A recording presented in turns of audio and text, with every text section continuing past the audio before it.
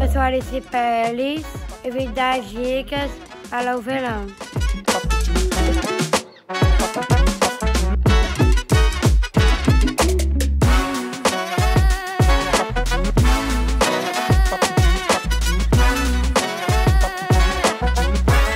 Gente, depois da piscina, eu sempre lavo os meus cabelos.